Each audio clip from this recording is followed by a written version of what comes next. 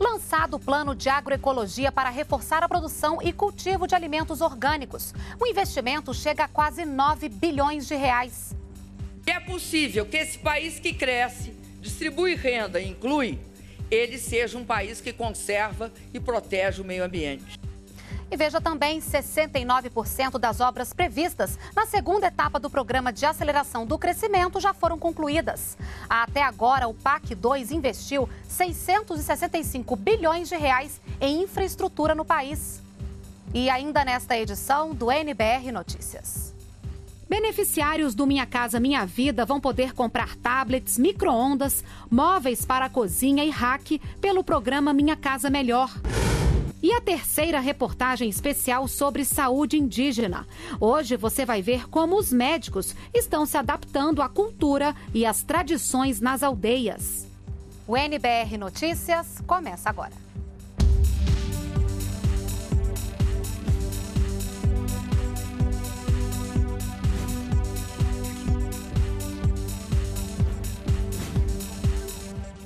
Olá, boa noite. A agricultura orgânica, que ajuda a garantir hábitos mais saudáveis de alimentação, respeitando o meio ambiente, vai receber incentivos do governo federal. Nesta quinta-feira foi lançado o Plano Nacional de Agroecologia e Produção Orgânica.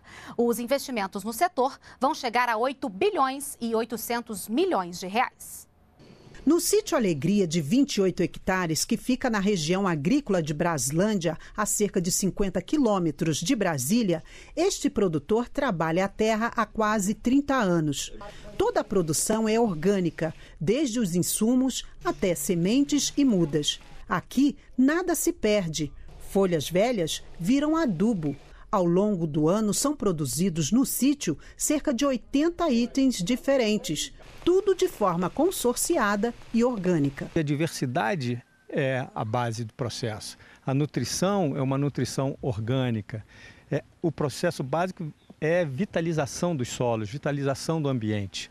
Para estimular agricultores como seu Arthur, o governo lançou nesta quinta-feira o Plano Nacional de Agroecologia e Produção Orgânica, o Planapo. O objetivo do Plano Nacional de Agroecologia e Produção Orgânica é ampliar e fortalecer o cultivo, o processamento e a comercialização de produtos orgânicos. O Planapo tem quatro linhas de ações: produção, uso e conservação dos recursos naturais, conhecimento e comercialização e consumo.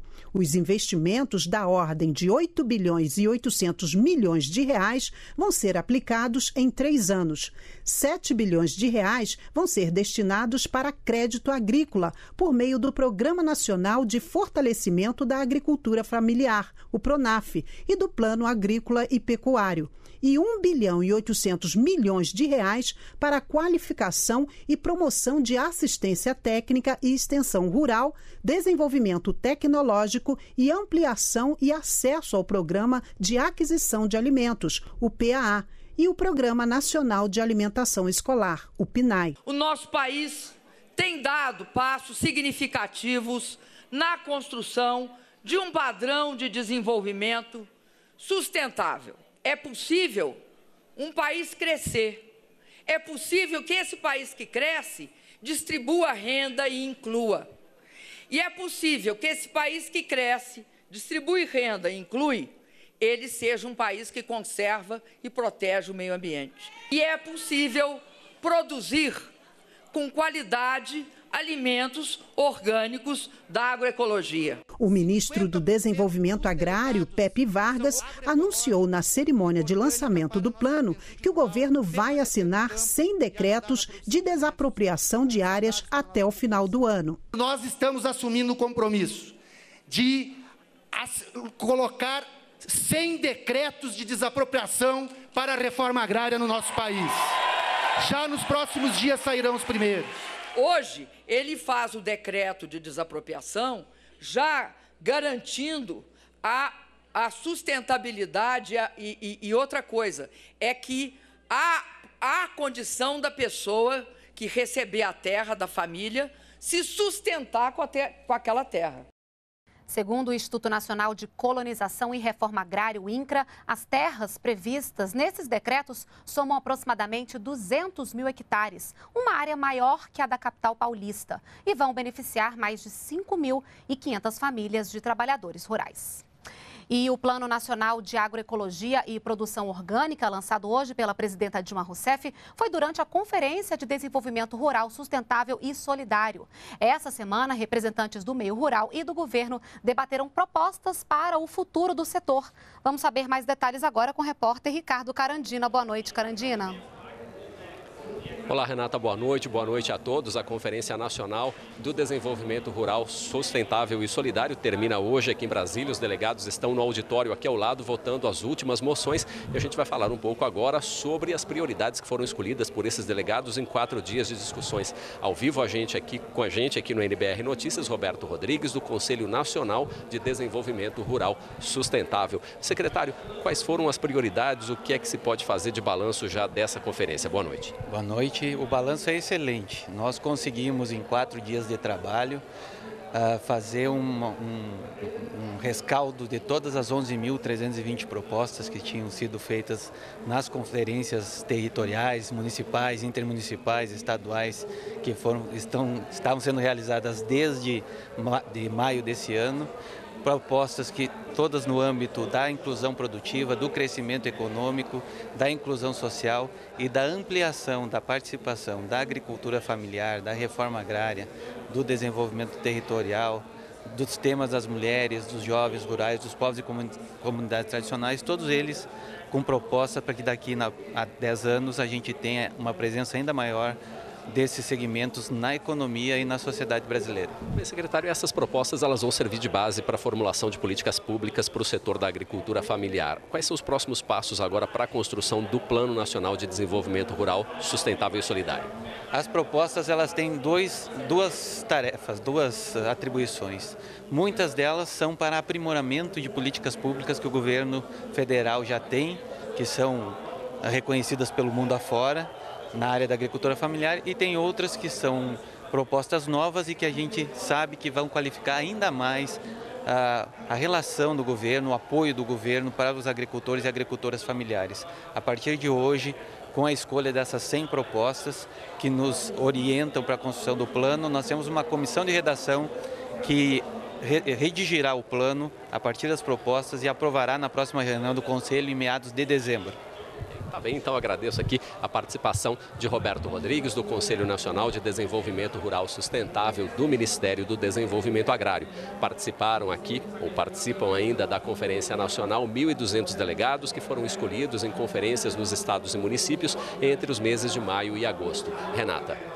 Partir de agora, o programa Minha Casa Melhor, que ajuda a financiar móveis, eletrodomésticos e eletrônicos para os beneficiários do programa Minha Casa Minha Vida, vai contar com novos produtos. São mais equipamentos para mobiliar a casa nova.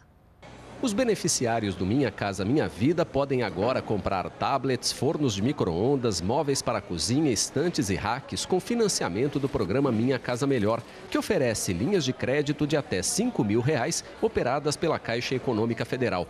Os tablets podem custar no máximo 800 reais, os micro-ondas até 350 reais, os móveis para cozinha até 600 reais e as estantes ou racks até 350 reais. O valor máximo dos produtos que já estavam na lista foi alterado. O preço limite para financiamento de máquinas de lavar passa de R$ 850 para R$ 1.100. Para a cama de solteiro ou berço, o valor máximo passa de R$ 320 para 400 reais. Para mesa com cadeira, de R$ 300 para 400 reais. Para sofás, o valor aumenta de R$ 375 para 600 reais, e para os guarda-roupas, de R$ 380 para 700 reais. O balanço dos 10 anos do programa Bolsa Família e os desafios a serem vencidos estão em debate nos Cenas do Brasil desta noite. O Bolsa Família está completando 10 anos. Não parei com o Bolsa Família, então eu sempre busquei mais. Eu terminei meus estudos e hoje eu estou entrando na faculdade de serviço social. O balanço e os desafios do programa estão em debate nos Cenas do Brasil. É ao vivo daqui a pouco, às 8 e meia da noite. Foi criado hoje um comitê interministerial para acompanhar os preços, as tarifas e a qualidade dos serviços durante a realização da Copa do Mundo. Ao vivo, a repórter Priscila Machado tem mais informações. Boa noite, Priscila. Boa noite, Renata. Este comitê interministerial foi criado por determinação da presidenta Dilma Rousseff e vai ser coordenado pela Casa Civil. O objetivo do comitê é combater preços abusivos durante a Copa do Mundo. O comitê vai, vai monitorar, por exemplo, pre preços de hotéis e passagens aéreas e outros serviços ligados ao setor de turismo. Vão compor esse comitê representantes dos ministérios da Justiça, do Esporte, da Saúde, da Fazenda, do Turismo Turismo, além da Secretaria de Aviação Civil e da Embratur.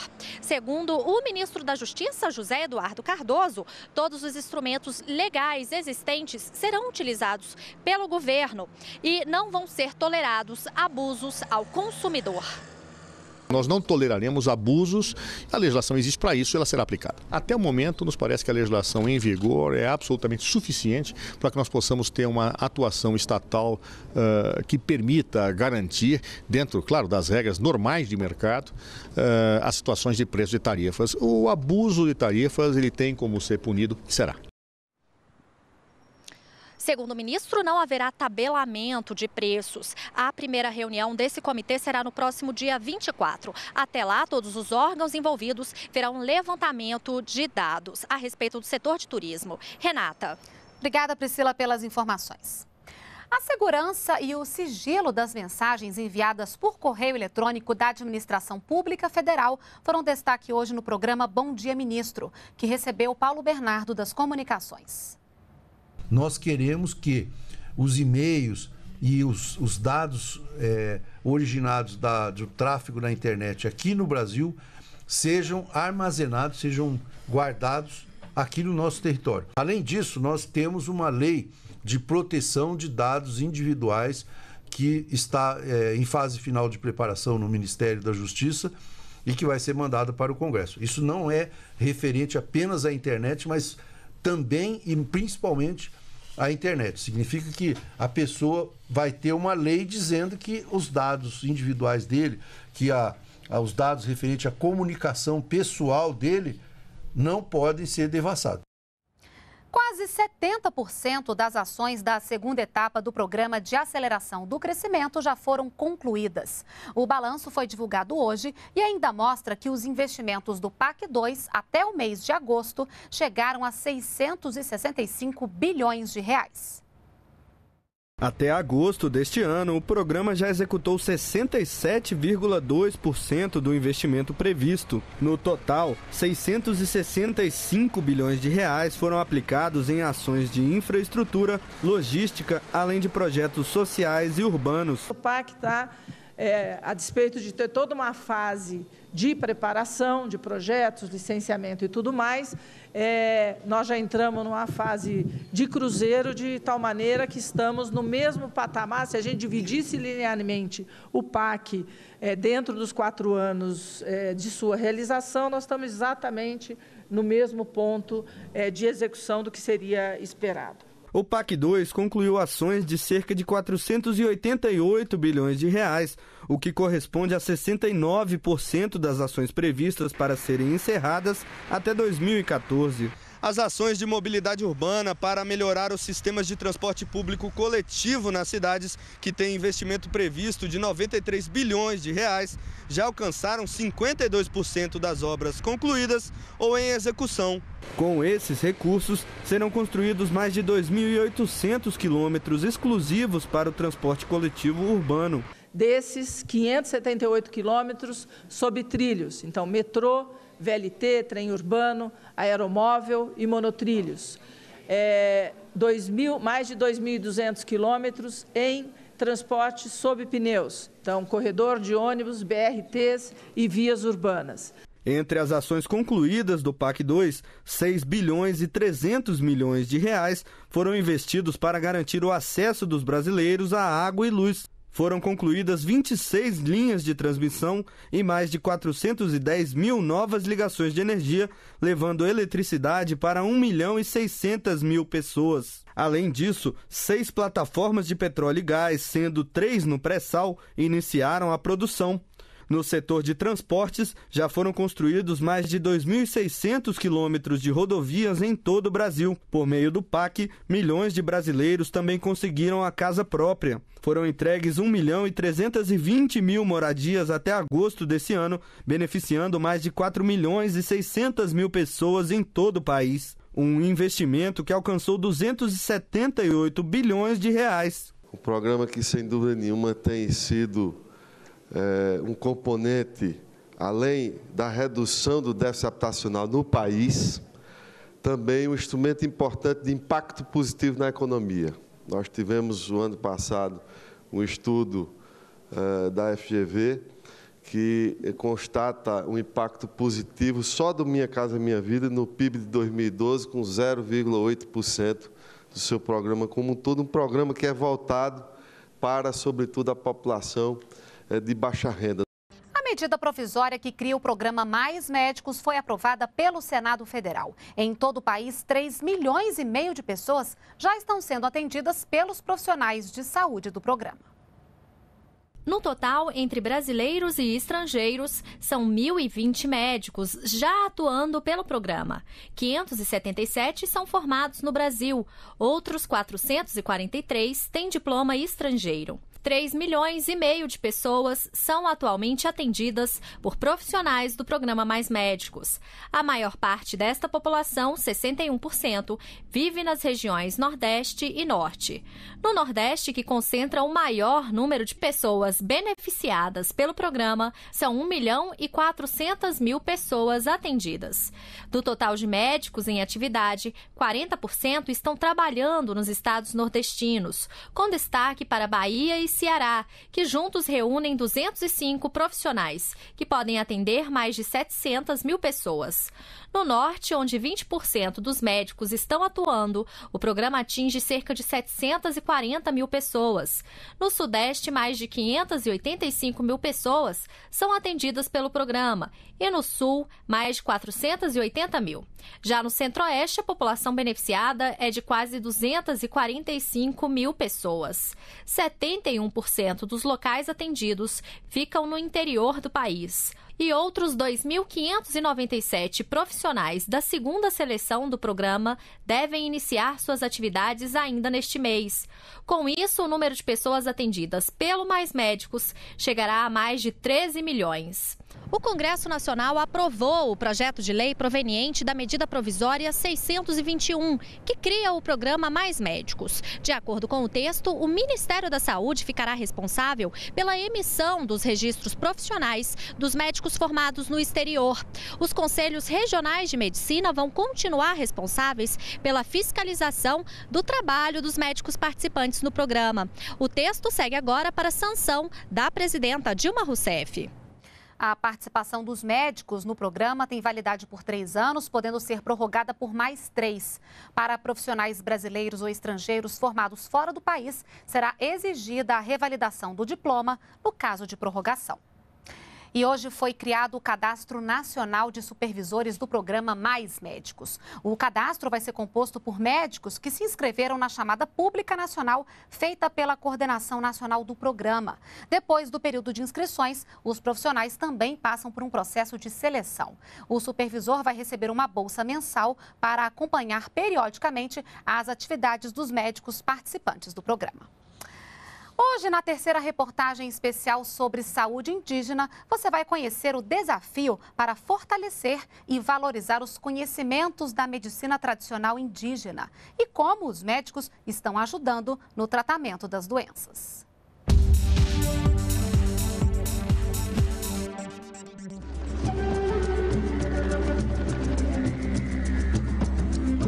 O grande desafio nosso da saúde indígena é integrar a nossa cultura ocidental com as medicinas e as tradições, as práticas de saúde tradicionais que eles têm com eles, né? De fato, esse é o grande desafio. As diferenças são evidentes. Essa é uma festa típica dos Caiapó.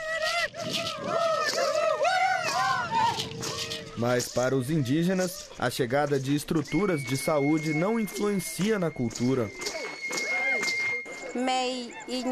Tudo isso é inovador, mas a gente continua com a nossa cultura. Houve melhora na questão da assistência, da qualidade da água, mas a cultura, a língua e a tradição ficam em primeiro lugar. Um dos pontos dessa relação medicina oriental e práticas tradicionais é o uso de remédios farmacêuticos. Muito erva, muitos é, conhecimento é, é, medicinais indígenas ainda resolve. Esse é um grande desafio para nós da saúde indígena. É integrar o nosso conhecimento ocidental com as práticas das medicinas tradicionais indígenas.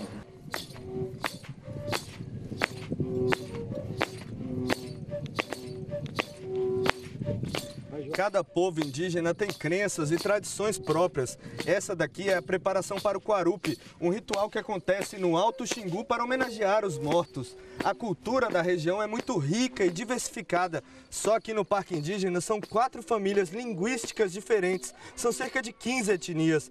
E tudo isso deve ser levado em conta na hora de pensar o atendimento de saúde desses povos. As flautas são usadas para animar a aldeia.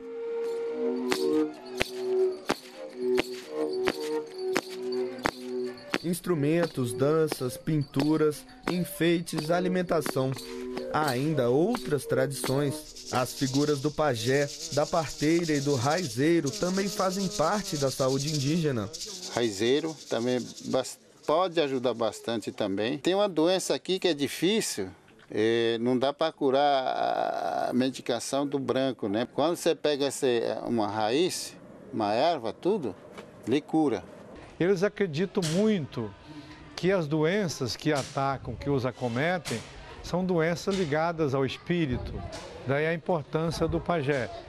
A pajé Mapulu explica que primeiro vai fumar o cigarro sagrado para verificar o mundo espiritual. Através desse ritual, ela vai poder diagnosticar que tipo de espírito está afetando essa pessoa. Os profissionais de saúde, aos poucos, compreendem essa particularidade. Quando eles querem consultar com o pajé, eu respeito eles, deixo ele consultar. Ah, e dá um tempo determinado. Vai lá e consulta, mas volta aqui porque a doença do branco eu que vou cuidar. E reconhecem sua importância. Aqui mesmo, nessa aldeia que estamos hoje, tem um pajé que é muito respeitado entre eles.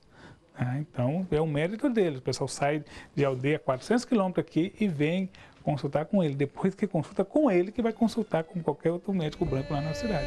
Os indígenas fazem questão de preservar esses hábitos. O ideal é o trabalho em conjunto. Que a gente tem que trabalhar junto com a medicina ocidental, com a medicina tradicional. Isso é, é para fortalecer ambas partes, né?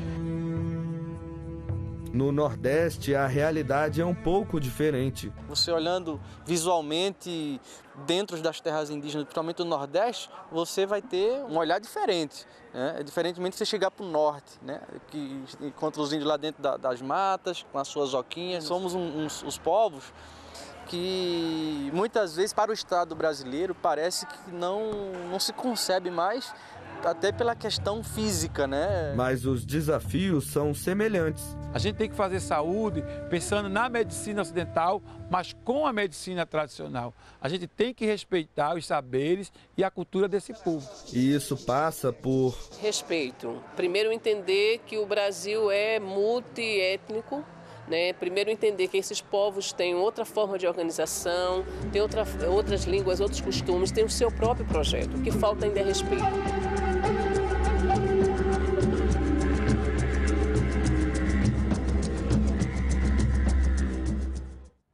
O desafio de melhorar a saúde indígena passa por investimentos no setor. Um deles é o saneamento básico, e é o que você acompanha amanhã. Não perca! Esta edição do NBR Notícias fica por aqui. Outros detalhes sobre os serviços e as informações do governo federal no Portal Brasil. Para você, uma boa noite e até amanhã. Continue com a gente aqui na NBR, a TV do governo federal.